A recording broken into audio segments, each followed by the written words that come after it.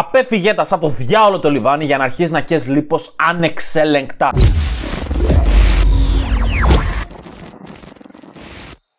Hey, Σάρο εδώ, ειδικό στυλ υποδιάλυση. Φαγητό νούμερο 1 είναι μπάρες από το φούρνο. Δεν μπορείς να φας χειρότερο πράγμα από χειροποίητο πράγμα από φούρνο. Εντάξει, τα περισσότερα πράγματα μέσα στο φούρνο είναι για τα σκουπίδια. Ιδίως οι μπάρες. Εντάξει, μια μπάρα, παιδιά, ε, μου λες έχει βρώμη, έχει φυστικό βούτυρο, είναι υγιεινή. Ε, μπορεί να, να, να είναι υγιεινή και να είναι πάλι για τα σκουπίδια και πάλι να σε παχαίνει. Μας νοιάζει, δεν προσπαθούμε να γίνουμε σούμο.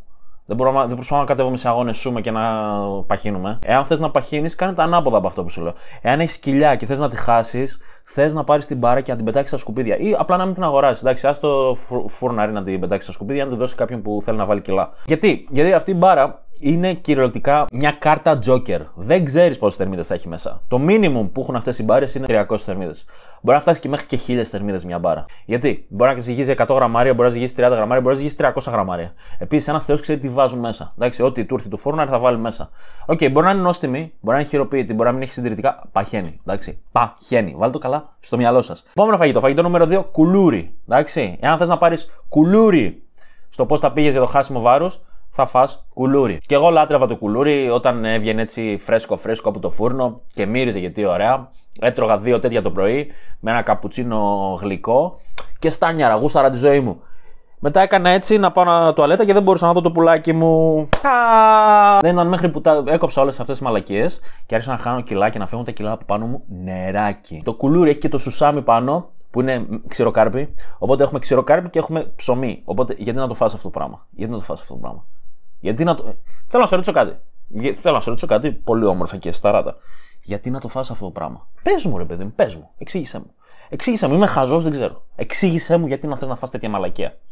Πάμε στο επόμενο, το οποίο είναι φυσικός χυμός. Δεν σας αρέσει όταν το λέω. Παιδιά, φυσικός χυμός φυσικά και πάει για τα σκουπίδια. Εντάξει, εάν θες να παχύνεις, να πιει φυσικό χυμό. Εάν θες να πεινάς όλη τη μέρα και να έχεις αυτό που λέμε τάση για γλυκό, αν θες τάση για γλυκό, πιες τρεις φυσικούς χυμούς με το που ξυπνήσεις και το πρωί.